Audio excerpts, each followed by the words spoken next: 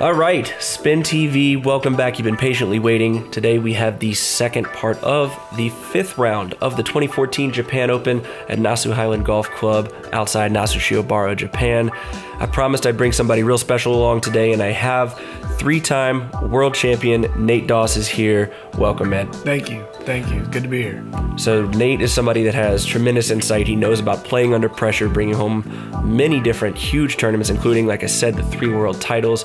So, he's going to help us talk about what's in the mind and, and some of the challenges. And he was on the chase card right behind him, so he, he knows the pressure of this tournament as well. All right, so hole 10 is a par 3 98 meter that's about three and a quarter on the map, and it's it's a downhill shot. And these guys are looking to birdie this hole, wouldn't you say, Nate? For sure, for sure. It's a pretty basic hole, um, but there is some danger. The OB on the right is a fake OB. I guess it's really the only fake OB on the whole course, but um, they're basically aiming directly at that and just let the disc feed right down to it the pro play here is the backhand hyzer for all of these guys, and you want to play wide, let it skip over with the lightweight disc and the manicured fairways, and don't get too far left and challenge that OB, but you have to put it far enough past that bunker so that you have a look for a two. You're going to see all these guys take that same route. Paul's going to be real close here with his, and uh, Ricky, who has uh, been in the lead, putting very solid and trying to maintain into the back nine as uh, the pressure really builds. He hangs one out wide right and gives these guys an opportunity for a stroke. I mean, interesting enough, um, Ricky's probably the only one throwing a putter on that hole. Um, I think these guys are mostly throwing drivers, playing the skip shot. Ricky is trying to throw a putter, and there was a left to right crosswind, and I think it just pushed it out and Ricky is going to run this, and that's a good run. That's that's not easy to do a one-step little putt and get that much energy. Going to go just over the band and still have a little tester for a three. Simon lines up a long one. Doesn't take much time, as he's known to do. Just step up and throw the thing, and it goes right into the chains. Ricky's outside again.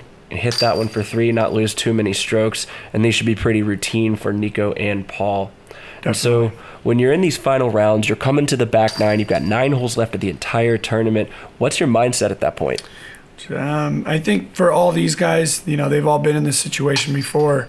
Uh, it, it's mainly just stay with your routine, stay with your focus, not try to let some of the strategic things try to get to you too much, and and uh, just keep getting the birdies that that you know you can get and Ricky will lose a stroke to the other three on that hole. As we go to hole 11, this is another par 3, 90 meter, just under 300 feet. We're going to film from the basket here, and the play again is a hyzer. They have to watch out for the green on the golf course, which is OB marked by the flags. Simon throws his wide and just doesn't get it back over. He was trying to play the power shot just past the bunker and kind of wedge it between the green and the bunker. McBeth here is going to take a little straighter look at it. What was your play here? Um, I think the the shot that you're just seeing Paul throw here is is the shot. Um, the the throw that Simon threw was really just a, a, a pull right, and he probably missed his line by about 50 feet. Um, as you can see there, Nico's skipping towards the left side OB. Um, basically just throwing a slow disc right at the bunker, let it come in right in front of it. Uh, you don't want anything too skippy. Uh, and, and, those three guys threw um, some really nice shots. And uh, Simon given the mark here by the rest of the card. He's got a death putt downhill, bunker in front of him, out of bounds behind him. He gets very lucky there that he doesn't pick up additional strokes. Certainly. Um, yeah, that putt right there was uh, maybe uh, a little nervous with that, but he did get a little lucky, and and these are fairly routine for for these guys at this point in the tournament. Um, you know, five rounds in, uh, you know, 15, 20 footers become uh, you know pretty pretty standard for these guys at this skill level, even though they've changed out their entire bags and are playing with these 150 class putters. Being in the fifth round of the tournament, you do find out how they fly, and it doesn't take these guys very long to get that routine down and really start canning them from long distances. See, Simon takes out that frustration a little bit and laughs it off.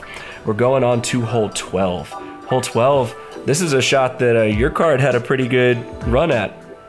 Yeah, we we had three ace runs and and uh, I was the third one, and I ended up hitting the basket actually.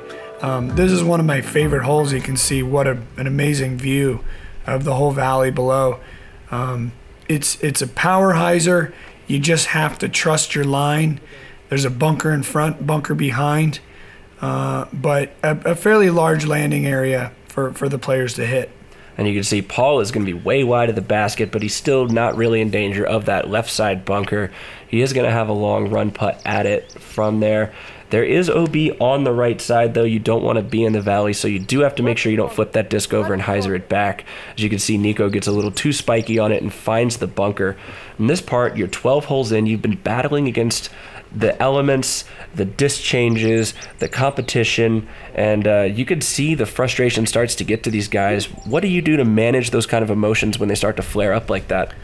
Well, um, you know, some players, um, some players have a game of being frustrated, um, so really that's nothing new for them. But uh, Simon's going to skip roll into the bunker there, but it's just about managing your, your again, like I said, your routine, um, and and just kind of stay in the course, man. You really you can't you can't get too far off it. That's a great run by Nico.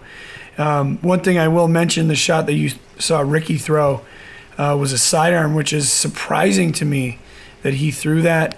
Not only is it surprising to me, but he got extremely lunky by skipping out of the bunker and uh, putting himself within like, you know, seems like 20 feet, and, and he'll probably go ahead and tap that in. But um, that's just a, a testament to you do need to get a little bit of luck uh, as you come down the stretch. And you could tell, you know, both of us have backgrounds in basketball, and it's the old saying, the shooter's roll. Sometimes when you just you're hot and you trust that shot to go, and you just get those little skips, those extra little things that sometimes frustrate your opponents and cause them to get out of their game and play slightly different than they would have. Uh, you can see Nico's frustrated there. He really wanted to get this hole, and as there's a closing down in the fifth round, played a lot of holes this tournament, and it's coming down to those last few, and you just really want to finish strong is the important part. Hole 13 now is a par 469 meter, about 554 feet by the caddy book. We're looking at the pin is going to be tucked uh, behind a little group of trees on the left side. The cart path will be OB. It's going to cross the fairway and uh, be to the left side of it. Ricky airs one out here, and you'll see Ricky airing them out high. Is that an adjustment that you have to make with these 150 class discs? Uh, I mean, I think it's personal preference. Um, yeah, I think the higher you get them, the longer they're going to glide.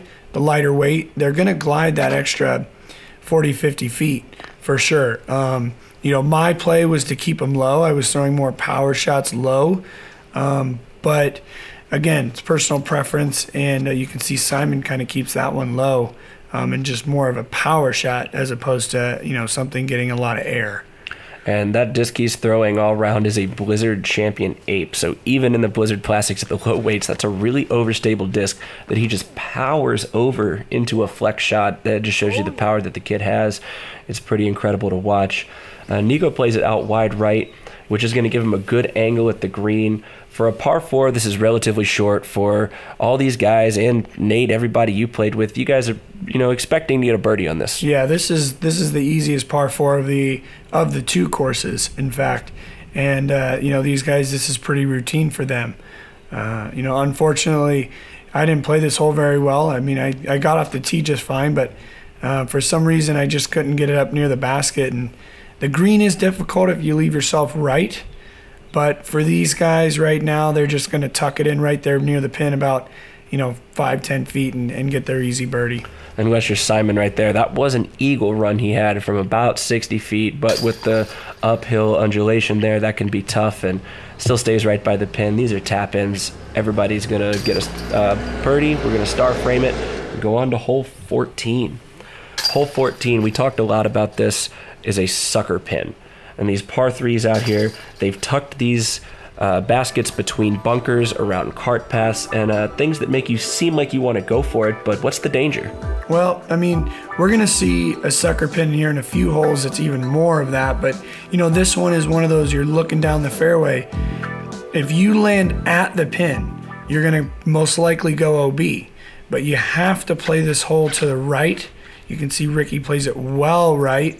But that's a that's a golf fairway, and that skip is going to be about 50 feet, and he was hoping for another probably 40 there. But um, the lower you get it, the more it's going to skip left. So you have to play it about 70 feet right uh, of the basket to land anywhere near the pin. You can see Paul's going to just zoom one right in there, and that's literally under the pin.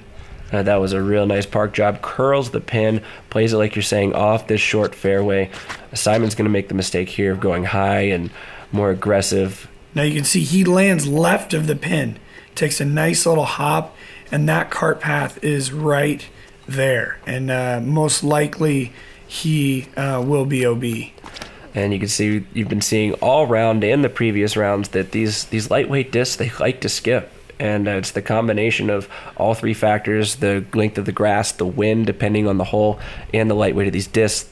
The discs will fly and they don't always sit down so easily so that's another thing that all these guys have to take into consideration is the touch factor on all these shots. Nico's going to run at it here and not really happy with himself. He definitely wanted to have that one. Uh, this is a big putt for ricky as he's not the closest one to the pin but you can't take a stroke from him when he's putting like that. It's reminiscent of what he did in Texas, and that's why he won that tournament, and that's why he's holding on to a strong lead throughout this uh, back nine. Yeah, I pretty much I want everybody to notice the way that Ricky's putting. He's uh, he's he's just very confident. He's standing over the putt and he's just popping it in. You know that putt that he just made was about 35, 40 feet. Almost seemed like a 15 footer. So when you see any player putting that way, uh, watch out for sure. And you see Nate uh, Nico is going to tap that one in. Uh, Paul right Yeah, under the pin. Right under the pin, easy too. Beautiful shot. And uh, we're going to go on to hole 15. Hole 15 is a tough hole. 702 feet, that's 214 meters. It is a par four. You're playing across the golf fairway, so the tee is going to be closer to the left side of the fairway, and then the basket is on the right side on the rough, tucked behind a hill. And you're going to need to throw a big shot to get there, and then a vi- you're going to need to throw power and finesse to get to the pin. What is the big challenge of this hole? This this hole is really mainly length. This is uphill. Um, it's usually has been into a headwind, and the pin is located behind a large bunker on a mound. Well, kind of tucked in between two mounds, but with a with a cart path on the right. So you can see Simon is making about the only mistake you don't want to make, and that's getting it too high, going right. These players want to be on the left side of that golf fairway up there um, to access the pin as best as they can. and you could see on Simon's shot behind the flag was blowing into a headwind, like Nate was saying, and uh, the Blizzard plastic sometimes can react a little stronger than the lightweight discs do to that wind and just flips over and gets out of bounds on him. Nico oh. uses that to correct off his, and he's on the right side of the fairway. He probably would have liked to keep it a little bit higher, but he's going to be safe. Now you can see this is the way to access the pin. Ricky throws a sidearm, but he was so far back that he just could not get enough power on that sidearm and ends up in the bunker. And I was noticing that the the sidearm players, you know, they seem to be having a little bit more of an issue with these 150 class discs. Is it harder to sidearm them than backhand them? Well, I think you have to you have to recognize that it's going to probably skip more. That's the biggest thing that I noticed with it. Um, but yeah, it, it you know with anything, you know, you get used to a a certain disc, and uh, you, when it, when it's lighter, it's just more harder to different. You know, you can see this shot. He put a little bit of anhyzer on it. He's thinking it's going to hook up. Goes a lot straighter and ends up about 50 long. One thing I want to mention is that this is right about when it started raining. Um, they played the previous hole with no rain. We had a little bit of a backup there, and it just started raining, and uh, it's pretty much going to rain for the duration of the round. and this is tough going to one of the toughest holes on the back nine if not the whole complex and uh, it's going to start raining on you just to test you even further and you can see ricky's going to miss that putt there is danger he could have rolled down the hill he does get a nice break there and cans the comebacker uh, to clean up his bogey Yeah. we're going to see uh, McBeth here is going to take a four. Nico's going to four, and Simon is also going to bogey here. Going on to hole 16. More sucker pins. Yeah, this is a huge sucker pin. This one, this this basket's just surrounded by bunkers, greens, danger. It's so deceiving. You can barely see the pin there on the left, but it almost looks like it's in front of this, there's a bunker out there. It's hard to see it, but these players are just trying to play it out to the right and swing it in. There's a gap that you can hit, but it is a sucker pin because if you play left or short, you're going to end up in that bunker and uh, you're not going to be happy about it. This is where big swings can happen. These sucker pin holes, like we're talking about, being surrounded by bunkers, you're seeing a lot of two stroke swings throughout the field, uh, which is pretty uncommon for disc golf. Uh, there's a lot more kind of one stroke at a time swings that happen at these big tournaments, especially with these guys at this level being so dialed with their upshots and their putting game. But out here here is a completely different ball game. You'd see two and three stroke swings on holes that could just definitely frustrate you no matter how good you are and how experienced. So Nico actually pulled his drive and he ended up in a bunker on the right side of the fairway. You know, I'm surprised about that, but um, again, that's probably just due to the 150 class, uh, you know, uh, issue. Um, but you know, maybe it had to do with the rain as well. And definitely both things that can affect your timing and release. And as we saw all tournament, uh, nobody played a perfect round. It was it was a grinder of a tournament, and it was more about outlasting than really trying to achieve perfection. Uh, that's a solid putt right there by Wysocki. Going downhill, making sure to not give up too many strokes. And uh, Simon has the park job. It barely sneaks it in under that chastity belt. You can see him smiling. He was happy to have that one go in. Paul will tap in his par. We're going on to hole 17. And this is a really beautiful uh, coming around this corner. You see the clubhouse in the distance. You play these last two holes. It's the home stretch. What are you thinking right here? Well, it's an interesting thing because yeah, you are looking down the home stretch, but you have to get by this this tee shot and this upshot. Hole 17 is, you know, if if if 15 was the second hardest, this is the hardest by far. Um, long uphill tee shot, um, cart path on the left, with, which Simon is going to go over there, but. Um, the nice thing is these guys are throwing with a tailwind right now, so they can really crank on it and let that tailwind give them that extra, you know, with with the lighter weight disc, maybe 50 feet.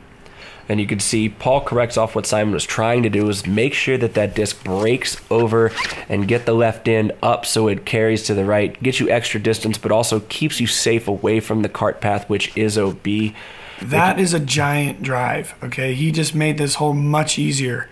Um, I will say that the, the second group ended up in the right trees, all four of us. And uh, Nico's throwing a roller here, which he's probably the only one in the entire tournament, but he's confident with it and, and he threw a good shot there. Yeah, a roller with a 150 weight disc is no easy feat. And especially, uh, you could hear it either hit the cart path or the curb right there. It took a kind of odd turn out to the right, but it doesn't matter when that upshot game is dialed. He's going to park the pin right there with the upshot. And, and, uh, and look at this upshot. I mean, there's a big giant rock there. The hole is on a mound. There's a bunker. Everything you can't really tell the angle there, but that angle, that slope is if you're putting towards it, you're probably going in that bunker if you don't if you don't make it. That is a real testament to the level that all of these guys play with. Lead card, chase card, everybody, because this is this is not an upshot that 900 950 rated players can execute all of the time and uh, just to show this is is pretty incredible and uh, this is a really tough putt for Paul right here. Right now, he's one stroke behind Ricky. There will be a final nine. They're both pretty safe in making that final card, but the tree is in his way. He's lining up an anhyzer look. Yeah, especially looking at the bunker. Oh, he hits the tree. Oh. Slides in. That's tough. That's just a real tough break, especially with Ricky's going to line up a birdie putt. And this is a clutch moment right here. He's going to put that right in. And we saw this at Masters Cup. We saw it the opposite way. But we saw Ricky roll down that hole 18 at DeLaveaga, and Paul had to hit a 40 foot death putt.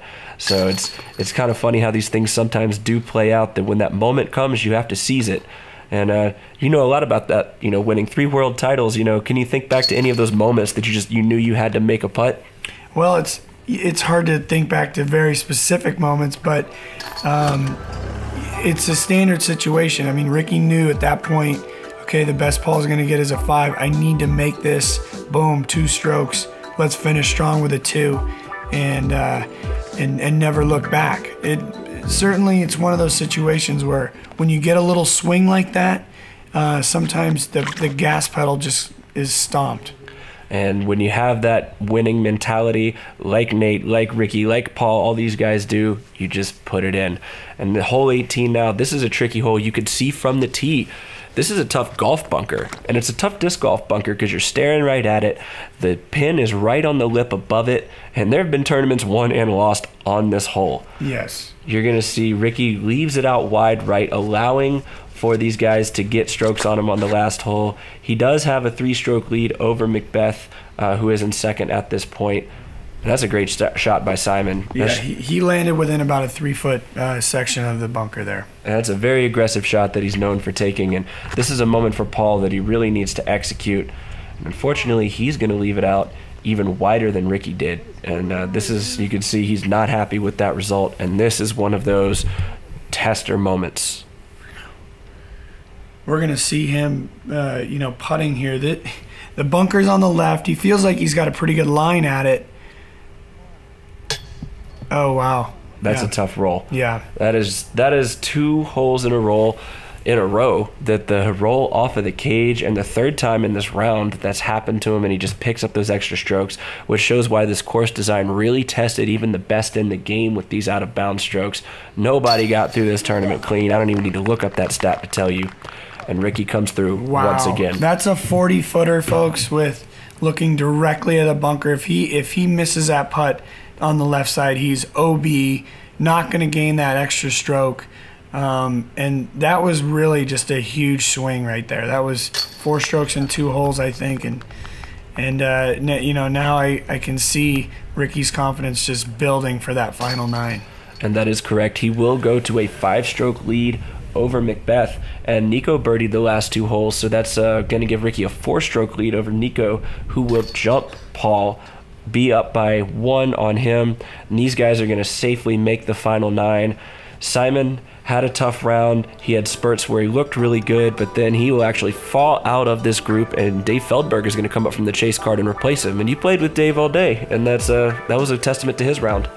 Yeah, definitely. Me and Dave battled it out, and uh, you know, it was uh, he ended up getting me by one stroke there, but uh, you know, it was it was a tough tournament. You know, it's five rounds uh, on really difficult courses. So the guys that are in the finals, I mean, they earned that right, and uh, it's uh, really a testament to their their ability to avoid disaster. Really, you know, that's kind of what we were all trying to do. a grinder tournament this was 99 holes were played when it was all said and done five rounds in tough conditions dealing with new bags you can tell nate man i know you're exhausted your voice is is uh, dying a little bit whether from the tournament or from karaoke we'll never be able to tell for sure we know. really appreciate you stopping by and uh, lending your insight today man No worries, anytime, man. all right, so we still have one more video. Keep it locked. The final nine is coming up, and we're going to bring somebody in who was playing on that card. So he'll have that insider's insight from these last nine holes as everybody tries to chase Wysocki. It seems like a Texas repeat when he's so far ahead. Stay tuned to find out. Keep it locked. Spin TV. Late.